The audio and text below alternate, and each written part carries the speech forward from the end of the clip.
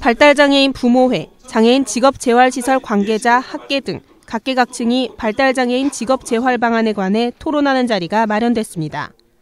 부모님들 바람은 유일한 바람이 뭐겠습니까? 내 아이가 정말 이 사회에서 편안하고 안락하게 죽을 때까지 보호받으며 살 수 있는 환경, 일하는 장애인과 일하지 않는 장애인, 천양지차입니다.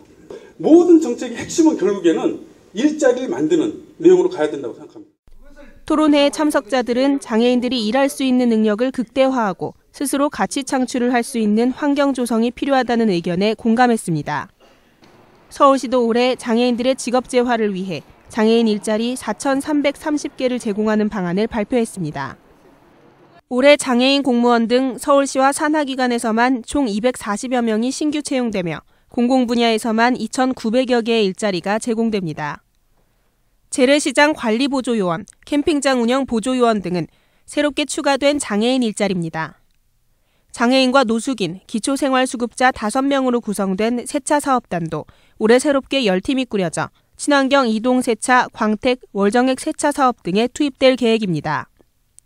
레저 서비스 분야 발달 장애인 일자리도 개발해 20명가량 채용하며 특급 호텔에 호텔리어 일자리 50개를 확보할 예정입니다. 이 같은 다양한 장애인 일자리 창출을 위해서는 민간 분야와의 협력이 필요합니다. 서울시는 민간 기업의 다양한 일자리와 장애인 일자리를 연계시키기 위해 협의 중입니다. 아울러 심각한 취업난에 직면한 청년층 장애인을 민간업체 직장 체험 인턴십과 연계해 고용하는 방안도 추진할 계획입니다. TBS 백가입니다.